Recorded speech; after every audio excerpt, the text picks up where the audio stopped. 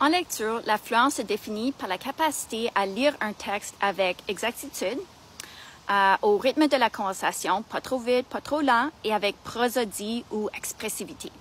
L'affluence est considérée comme un facteur qui favorise la compréhension de texte. Les lecteurs faibles ont tendance à lire de manière laborieuse, ce qui rend la compréhension du texte difficile. Mais une fois le décodage de mots automatisé, ceci permet de libérer les ressources attentionnelles afin que ceci soit disponible pour la compréhension.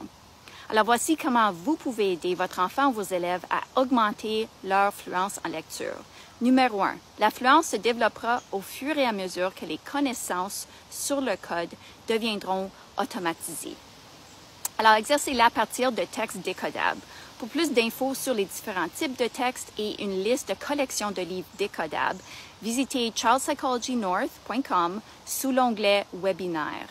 Et souvenez-vous, ce n'est pas parce qu'on dit qu'un livre est décodable qu'il l'est. Rien n'est décodable tant qu'on n'a pas enseigné le code aux enfants.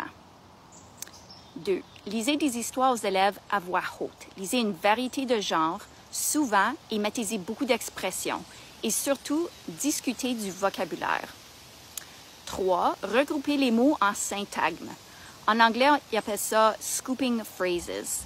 Apprenez aux élèves à segmenter les phrases en petites bouchées. Au lieu de lire le chat a mangé le poisson, ils peuvent lire le chat a mangé le poisson. 4. la lecture répétée avec rétroaction. Alors, l'élève lit et relit un texte quelques fois et reçoit un soutien individualisé des rétroactions correctives immédiates. Exercez-la à partir d'une variété de textes que l'élève peut lire seul voir le truc des cinq doigts, nous avons un signet euh, imprimable euh, sous l'onglet webinaire de mon site web. Et cinq, euh, le théâtre de lecture. Le lecteur se pratique sur un même texte qui sera présenté devant un auditoire.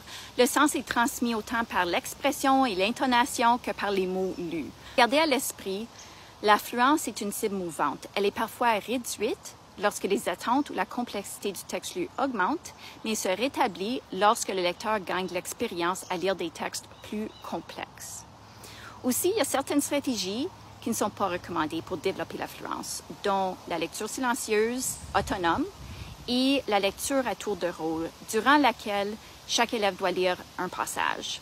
Bien que ces stratégies puissent présenter d'autres avantages, elles n'améliorent pas l'affluence de la lecture. Alors, pour vous aider à vous souvenir de tout ça, j'ai créé une infographie super cute que vous pouvez télécharger gratuitement de mon site web charlespsychologynorth.com. Bon, n'oubliez pas de me laisser un pouce bleu si vous avez aimé ces conseils ressources et abonnez-vous à activer la cloche pour rester à l'affût de nouvelles vidéos. Merci.